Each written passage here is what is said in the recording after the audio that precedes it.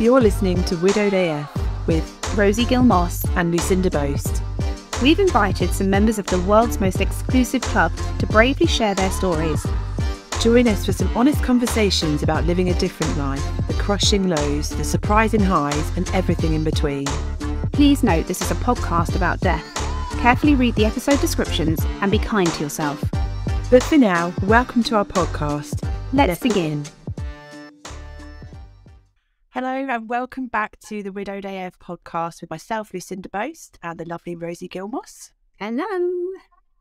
Now, here at Widowed AF, we often refer to widowhood as the world's most exclusive club, the one that nobody wants to join.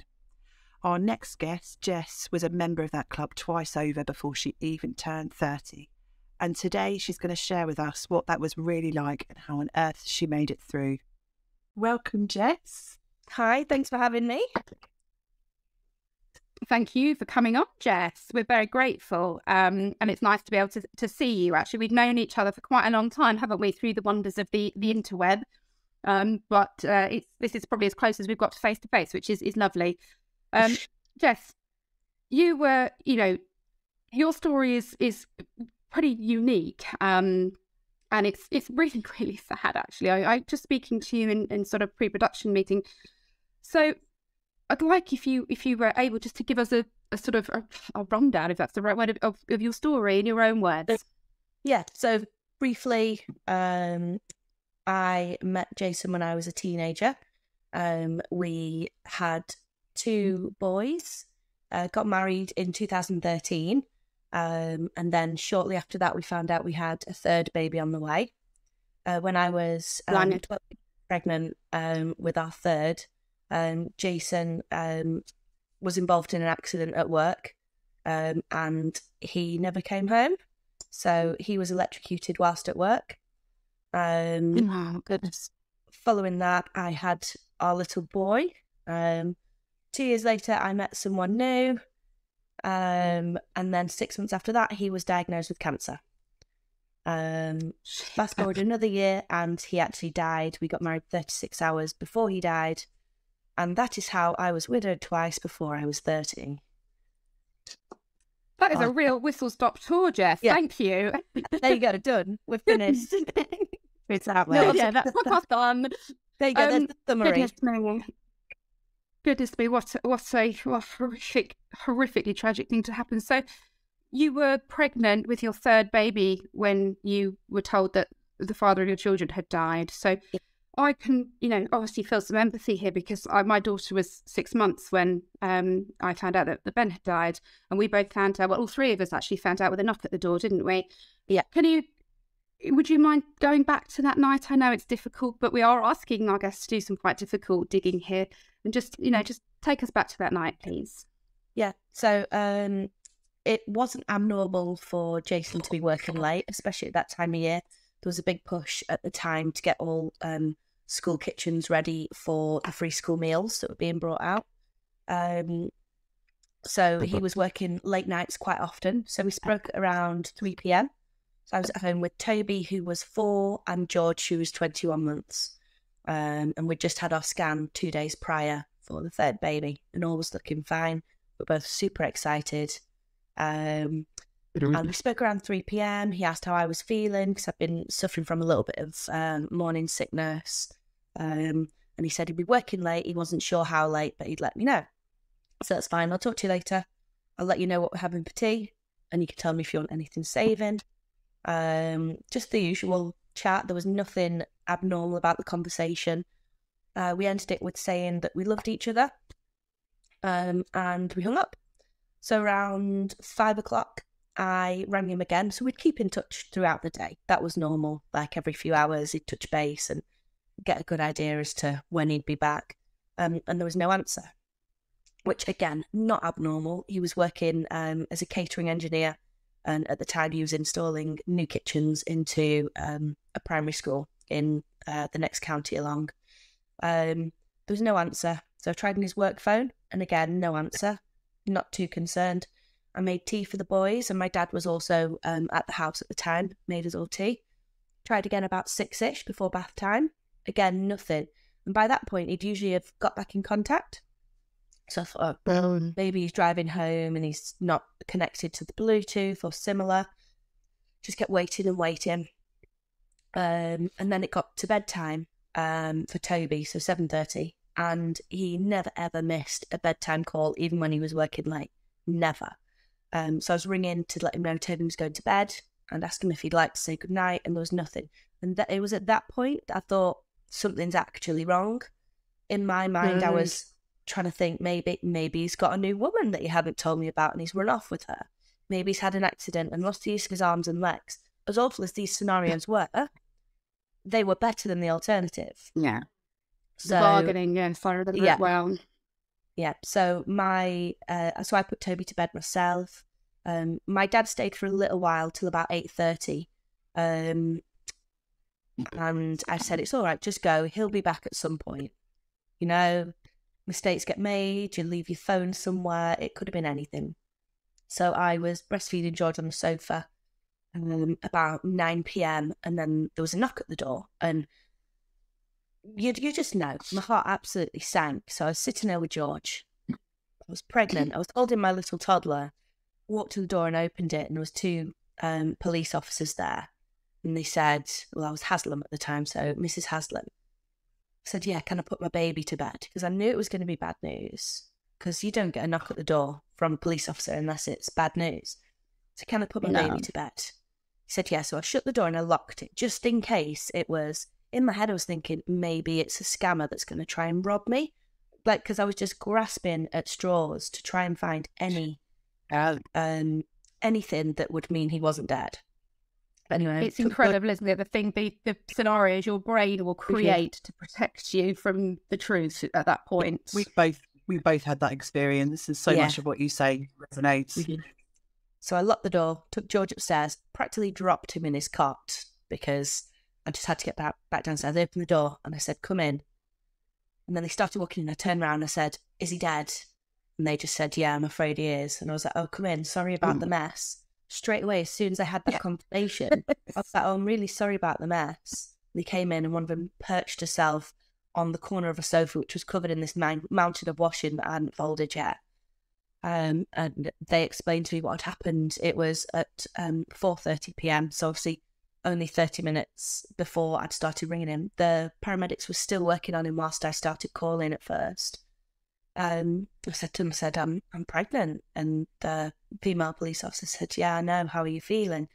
And I couldn't get my head around the fact that they were more concerned about me than the situation. Mm. I was asking about Jason, but they were more conscious about making sure I had someone with me. So I rang my dad, or did they ring my dad for me?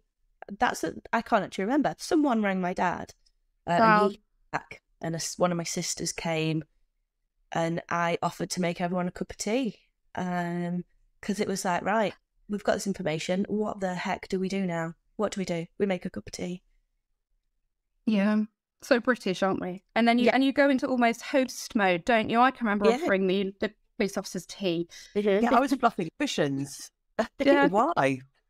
I was worried because I didn't have a bra on. You know, I mean, the, the weird things that you that you focus on. Yeah, I had oh, a basket okay. of the washing as well. That was really familiar. Mm-hmm. I just stared at this basket of washing. I think you focus on the things you can control, don't you? and you can control making sure everyone has a drink. You can control making sure your boobs are supported. You can't control anything else, but you well, can control those little. These days, I'm not sure, Jess. Sorry, oh, we, we digressed then, didn't we? Um, um, please do carry on and tell us because obviously you then got to tell your children, and um, you know, George presumably was too young to comprehend, but uh, but Toby was of an age where he would understand. So how on earth do you how on earth do you tell your children this? So my dad stayed over that night. He sat downstairs. I remember during the night quite a few times getting up and going standing outside on the driveway because I didn't sleep that night and just looking up at the sky and that being interspersed with crying and throwing up and it was all very dramatic. Um, but then the next morning when Toby woke up and he said, Where's daddy? Has he gone to work? Because obviously he thought he'd gone to bed, daddy'd come in, slept the night, and then gone out early, which wasn't abnormal, but had to sit him down and say, Daddy died, there was an accident, and he won't be coming back. Um, and it, he had to ask quite a few times what it meant because we've not dealt with death of a person No, in his life. No. We dealt with the death of a rabbit a few weeks prior. So I had to say, yeah, he's gone to be in the stars with your rabbit, which No, Jess, we tell people not to compare the death of a spouse to the death of an animal. So be careful, please. no, I think um, as adults, definitely do not tell me that your dog died and you feel the same as when my husband died. Um, but for Toby, his yes, comprehension of something being gone completely was the only thing he knew was his rabbit, and I was like, um, but his rabbit got taken by a fox, so slightly different scenario. Um, Well, yeah. uh, so I had to explain that to him. But with George, like you said, he was much too young to comprehend it. For weeks and weeks, he would look out the window and say, "Where's Daddy's van? Where's Daddy's van?" Um, and on the one occasion it got brought back, so we could take things out of it that were Jason's. He thought Daddy was home, which was Oh, absolutely heartbreaking. Um, Ben drove a white transit van, and for a long Mhm. time, I mean, Hector was five, but he has autism, so Mhm. it's sort of a little bit late. And he, um, for a long time, he every time we saw a white transit van, it would bring, you know, is that dad? Is that dad? Yeah. yeah. It's their little hearts, Then it's it's just a horrible thing to have to do, isn't it? it just feels like you're breaking the heart all over again every time you have to say it, doesn't it? Yeah, it does. It does. And they do ask you repeatedly, don't they? And Yeah. it's almost like they're hoping your answer will change. Yeah. Yeah, well, it's like when they ask you for a snack 70 million times because eventually you'll say yes, and perhaps they're Yes, hoping that yes. the same sort of. Yeah. Well, Yes. so Jess, you you gave birth to your baby without without your husband, without their dad, and who wa- who was with you at the birth, Jess? So one of my sisters was there. Um, it was all, you know what, as far as birds go, it was absolutely perfect. It was quick. It was, um, I didn't have any pain relief because there was no time for it. It was, it was a perfect birth. Um, he was a whopping ten pound four, so he just um practically walked out. Um, you know what? I think because I was so focused on this baby and making sure I kept him healthy and happy, I just think I couldn't think about any of the sadness that surrounded it at the time. Yeah. Um, throughout the pregnancy was all about staying as calm as possible. It was all about getting things prepared. Um, and as far as raising a baby on your own goes, I think it went pretty darn well. My older two were as helpful as they could be, um, especially my oldest. He would sit and hold baby Barnaby whilst I grabbed a shower or went to the loo, and it just worked. I think with third babies, they do just slot in anyway. But Barnaby had extra no choice but to do so. But Jess, I realise I'm sort of harking back to my own experience quite a lot in this conversation, but I feel that, particularly at this point in, in our lives, there was a lot of similarities. You know, I, I given birth, my daughter was six months when the police knocked. Now, I often say that I felt like this baby kind of kept me going because with the older two, I was having to manage their trauma and their, their sadness as well as my own, but this baby had absolutely no clue. So, all she needed from me was the necessities of you know being a mother so the feeding the changing the cuddles that sort of you know and i went back to things like yoga because i didn't want her life to be tainted and what i'm hearing from you is that the pregnancy with barnaby kind of gave you this you, you had to eat you had to sleep you had to try and keep yourself well for your baby um and so when he when when he was born um were you able to sort of lose yourself in that lovely new mother bubble or at this point did the trauma kind of land Um, I did really enjoy him being a newborn. I think this Um, it brought a new hope and a new life and a new future. Because when your entire future gets taken away from you, to then have this gift, if you will,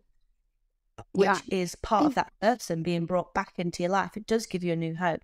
And even now, he has so many similarities to Jason, even though he never ever met him. He's going through a pretty complicated time with his grief at the moment. He feels sort of lost, a bit like he doesn't belong, like he's the odd one out with his brothers because he never met Jason. So it's complicated in that sense, but he feels really close to him in the fact that he is very similar to him. So obviously, there is a lot of Jason's genes. They're very strong in Barnaby. So I think that gives him some comfort. And it gives me a lot of comfort as well. to see the goofy dances he does, which were exactly the same as what Jason used to do. And it is kind of like a new hope just brought with Barnaby. These little miracles, I I, I feel similar with Tabs actually, because I often I'll glance at her and she's got very much his eyes, and like it's like they've kind of left you a little a part of them, isn't it? It's they it's special. So Jess, um, in the early days of uh, having Barnaby, you struggled to maintain your garden, didn't you? And this is how you came to meet husband number two, uh, Tom. Tell, talk us through how that happened. So Barnaby was, I think he must have been around 18 months. And as you said, it was tricky to keep on top of everything. Um, the outside spaces sort of got left to go a bit wild, in all honesty. So I wasn't. I can relate. I wasn't actively looking to date someone.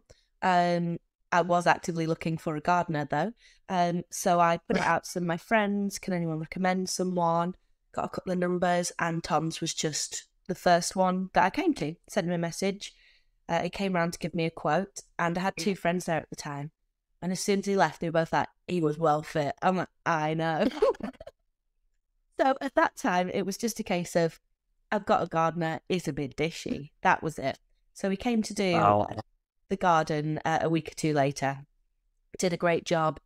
He was glistening in the sun outside. He had a wonderful tan on his bald head. and it was really funny.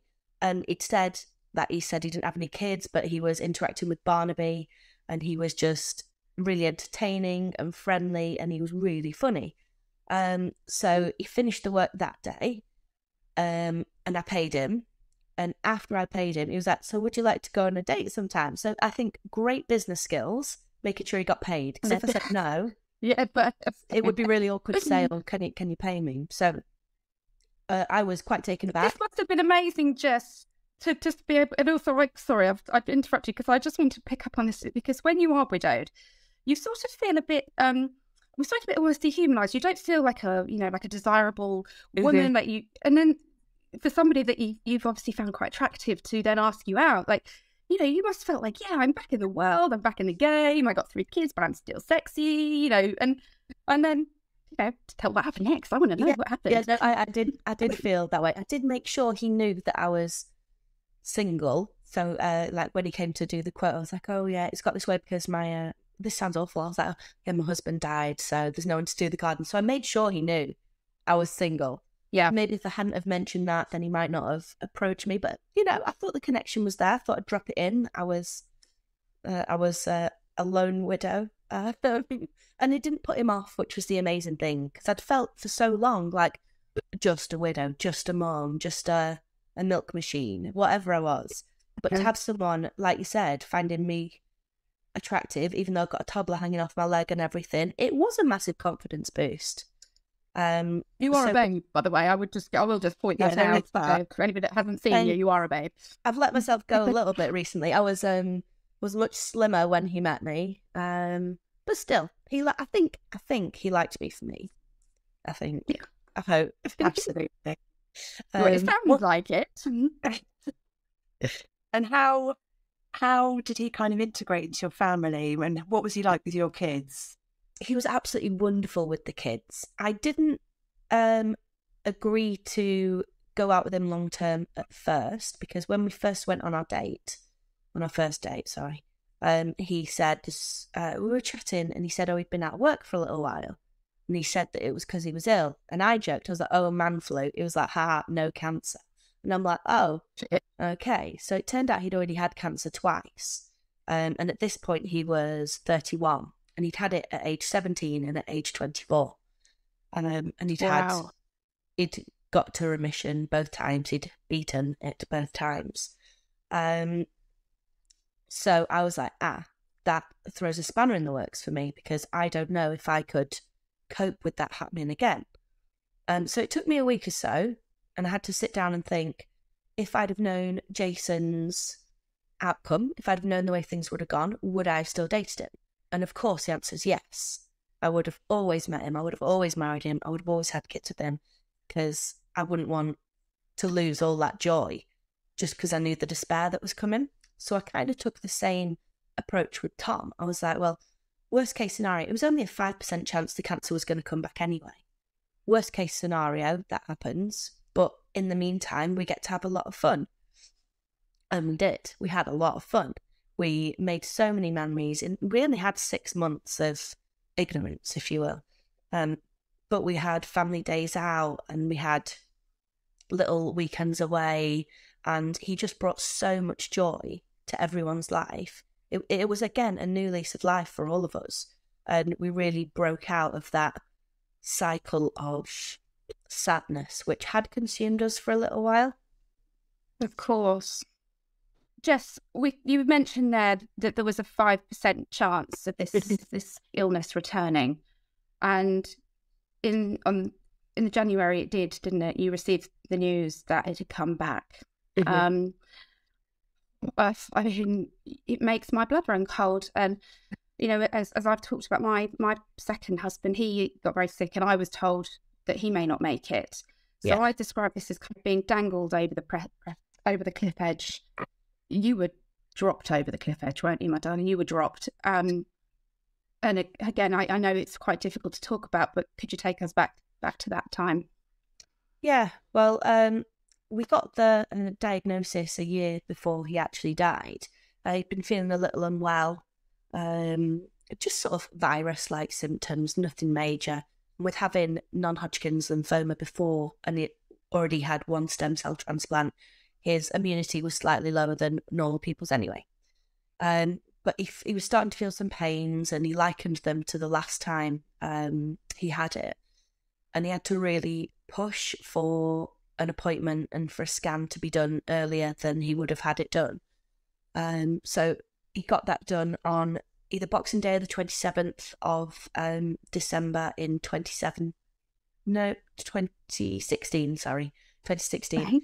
It was just into January that he got the news that the cancer was back but they were all very confident. You've beaten it twice before.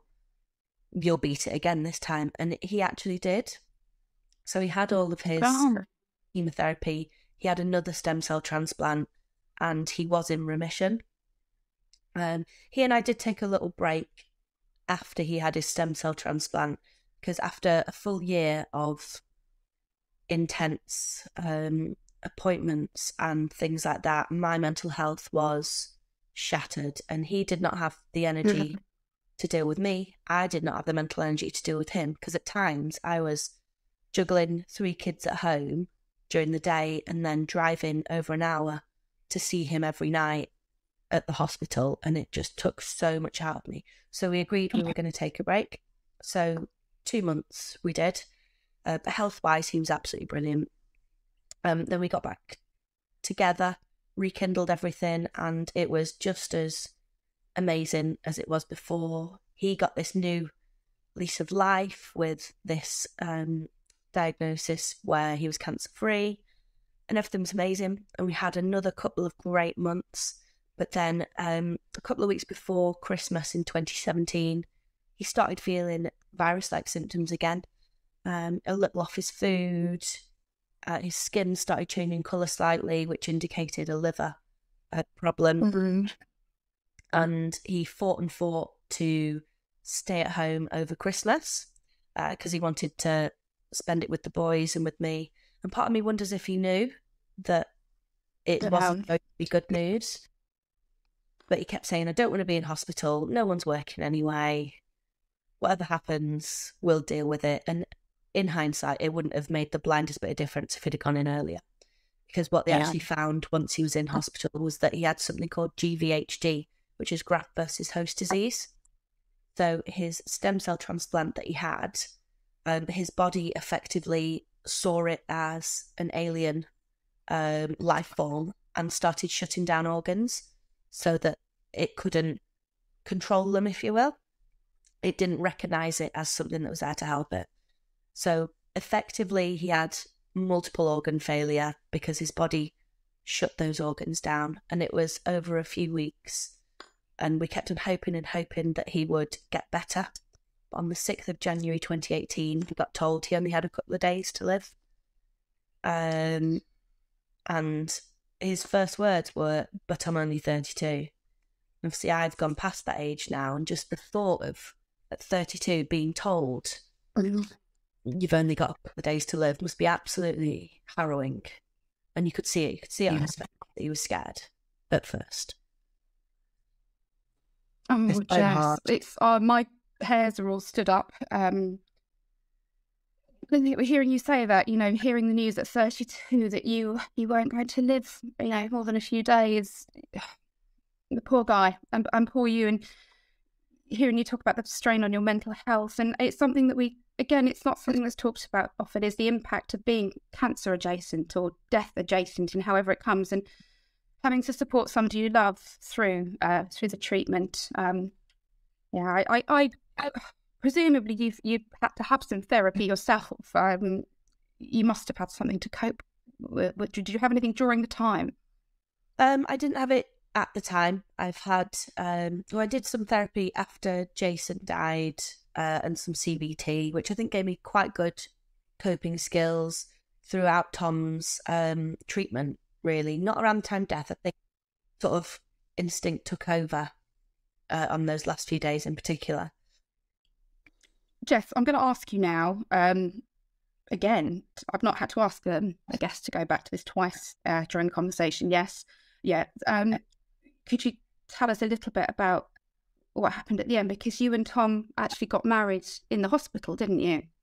Yeah, we did. Um, so after Tom got told he only had a couple of days to live, um, he took some time to himself. I sat on the floor outside his hospital room, um, just waiting for him to be ready to talk because obviously he wasn't at first. Um, so after all Yeah. the doctors had left, he sat in the dark on his own, just contemplating. And then after about an hour, he said, "Right, I'm ready."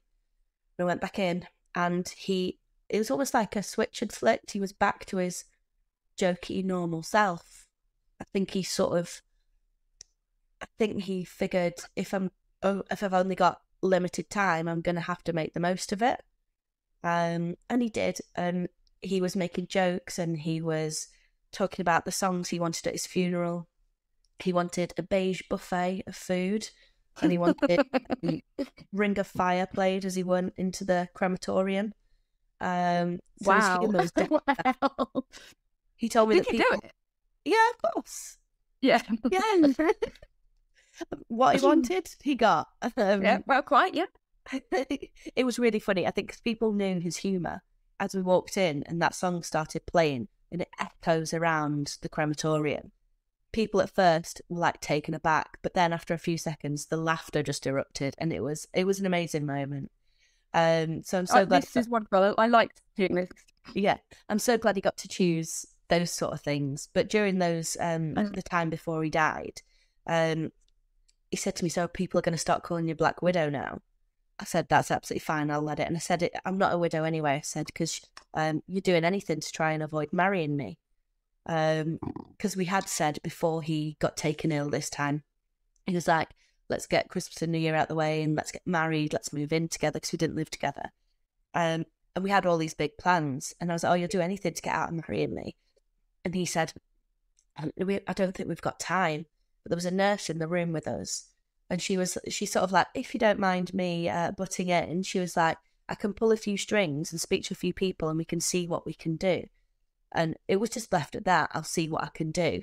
So we didn't know anything of it until five hours later. A registrar comes in and he's like, he was dressed in the shiny shoes and he had on a waistcoat and a, a tie and he looked so dressed up because he'd just come from another wedding. Um, and Tom made a joke that he was showing him up because he was better dressed than he was. Um, and we signed all our forms and we actually got married. Um, in the hospital that evening. It wasn't a glamorous affair. Tom had his hospital gown. I had a white plastic apron on. Um, and I'd been living in the hospital for a few days at that point. So you can imagine how I looked. wasn't amazing, but it didn't matter. We got No. the moment that that we we'd, we'd not dreamed of the moment being like that, but we got it. We got we got to be husband and wife, and the um, he didn't refer to me as Jess after that. For the time he spoke, he only referred to me as wife. So I'm glad That's just got- wife. just wife, yeah. And after we'd got married and everyone left the room, climbed up on his bed, and we listened to some music. Um, and it was just lovely. After that, people came to visit him, and I stayed at the room. I wanted to give them their time with him. And by the time I went back in, about 11 midnight, um, he was fast asleep. So, wedding night, I sat on his bed, um, probably stinking because, you know, can't get a shower in those places. Uh, and I sat with a cup of tea while he just slept. And he didn't really re- regain consciousness after that, apart from to utter a few words, but they weren't really coherent. Oh, Jess, that is agonizingly beautiful, that story.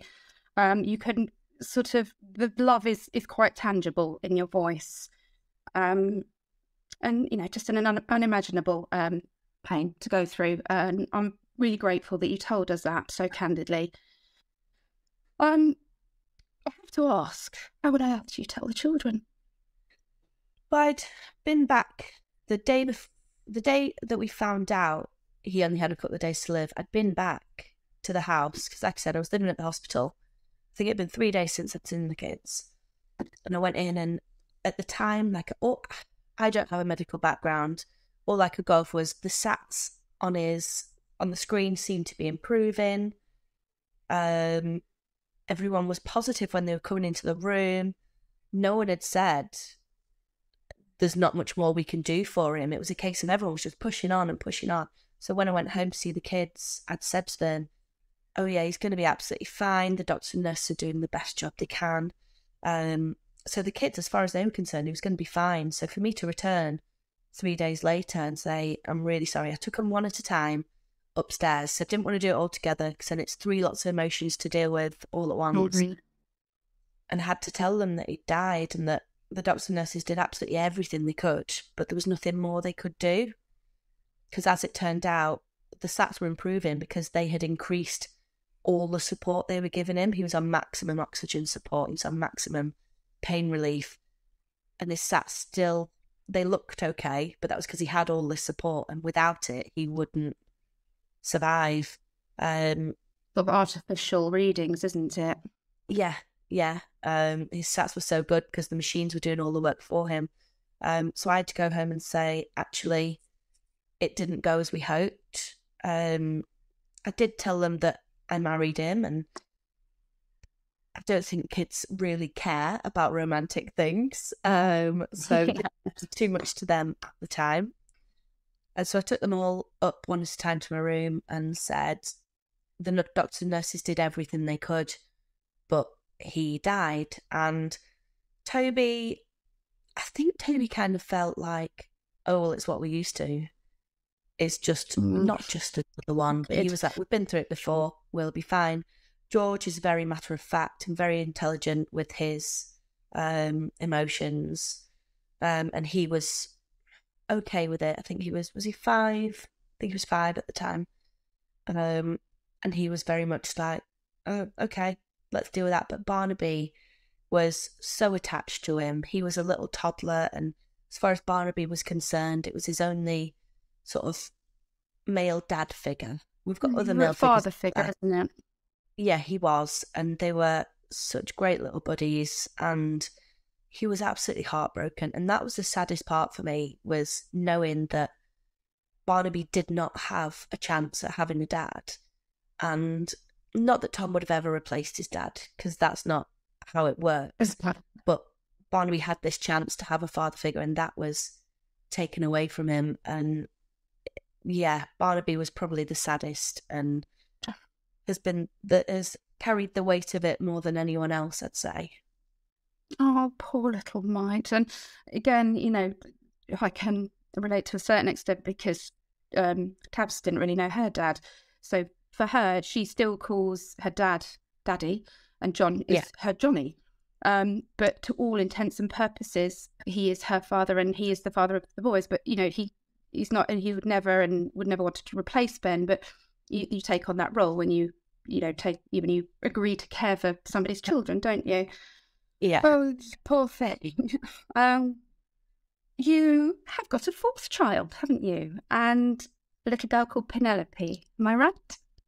Yes, I do have a bonus baby. I had resigned to myself that three children was my limit because Tom and I had discussed having children. He was um he wasn't able to because of the chemo that he'd had over the years, but he did have um stores, if you will. So Yeah. we had discussed in IVF in the future. But when he died, um my idea of ever having more children went along with that. So I couldn't imagine ever getting to the point of wanting to have children with someone again. Um so I was not actively looking for a relationship and I was not actively looking to have more children. However, I think the universe had other plans in store for me. Um, It often does. That Penelope's father was only ever going to be a fling, um, which he obviously he is aware that was the plan at the start. Um, but I actually found out I was pregnant, um, which caused some difficulties with he and I because we were dating, but we weren't at the point where we could have a fully fledged relationship. Um, so to find out I was pregnant caused him quite a lot of issues, um, which have been resolved now. But he and I aren't together. Um, we would have never worked as a long term Mhm. relationship because he doesn't really grasp the complexities of my situation, and I don't grasp the Yeah. complexities. He's a man baby. Got yeah, got yeah. And it's something I've talked about quite a bit. Sort of, you know, the conversation is, um, you know, people say to me, "Do I think that John and I uh, work because we're both widowed?" And I genuinely think it, it is it really helps because you Uh-huh. do um, understand the complexities, and um, it takes away any sort of you know jealousies and issues like that. Um, how does this? How does it work with the boys then? Because obviously they obviously cannot see their father, um, and Penelope has some contact with hers. So, does that has that created any sort of animosity or jealousy, or of the boys? The boys kind of pretty cool with it. How's that worked?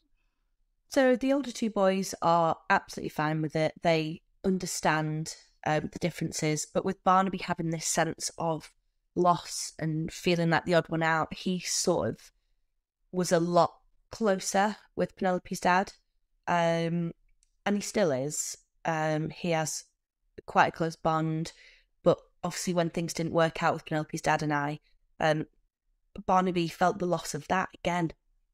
He felt Mhm. like his father figure was being taken away from him, and I felt awfully guilty for that. I felt really, really bad, um, because Barnaby felt like his little sister had everything he has never had.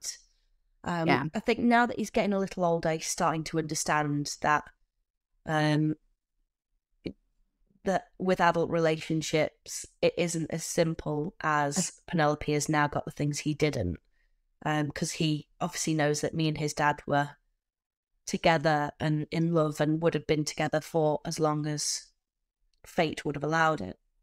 And I think because he sees that Penelope's dad and I don't have that relationship, I think he doesn't see it as a loss so much anymore. Yeah. Um, It- when you're widowed, you have um, and you you know you are considering dating or you you randomly fall into a relationship. Uh, You have a huge responsibility, don't you? Because particularly when you have Mhm. children, I mean here particularly, because you're you not only are you having to protect your heart, your poor, broken, damaged heart, you're having to protect the hearts of those children. And so when a relationship doesn't work out, and you know for whatever reason, you that you take on that extra blame and and you know pain that and that must have caused you a huge amount of distress alongside the breakdown of your relationship. Um so I, yeah i i it's- so and children don't understand the adult dynamics and it sounds to me like you, you you've done such a wonderful job and you know i i see on social media your children thriving under your care and it to protect their little hearts like you have done um, takes an immense courage and amount of love. And I, I admire you, Jess. I really, really admire you. So, what does life look like now? Um, I don't know. I have been through lots of therapy. I have um taken a lot of time to sort of sit with the guilt that I felt when Barnaby felt that loss of Penelope's dad as well. Um, he's starting to come back round to the idea because he still sees Penelope's dad. They still have days out together and things like that. Um, so I Oh, think he's nice. slowly he's slowly healing from that. Um, so I Okay. feel a little less guilty for him going through that. But there's still so much weight on me having done that. Mhm. I am not in a position where I actively want to have a relationship. It's been over 18 months now. Um, and I am focusing on the children um, and doing other things that are good for me. Um, I've spent a lot more time with my friends. Um, I've started. I've gone back to work. I'm trying to get a new house, which I can have as a bit of a project, and I can do that Mhm. up. I better throw myself into things that are for me instead of trying to distract from the pain I am feeling, which I think is what I have done in past relationships. Is Yeah. use it as a distraction from the uncomfortable feelings. So I've taken time to sit with that uncomfortableness, and Yeah. I think I'm in a pretty good place. It's hard, isn't it? We, you know, we say all the time it's discovering that you can't run from it and you you have to walk back through it. And in a way, that's what we're trying to achieve here. Is that, you know, it isn't easy telling your story. You think, you know, no matter how if, like, it's going to be fine. I, I tell the story all the time, but it isn't easy. And it, but it, it takes you back to, and it kind of forces you to confront some feelings. And you've been extraordinarily open and candid and um, and honest with us today. And for that, I am extremely grateful, Jess. And I wish you, we we all wish you joy and happiness and some peace. So thank you. Thank you so much for talking to us, Jess. We really, really do appreciate it. Thank you so much for having me.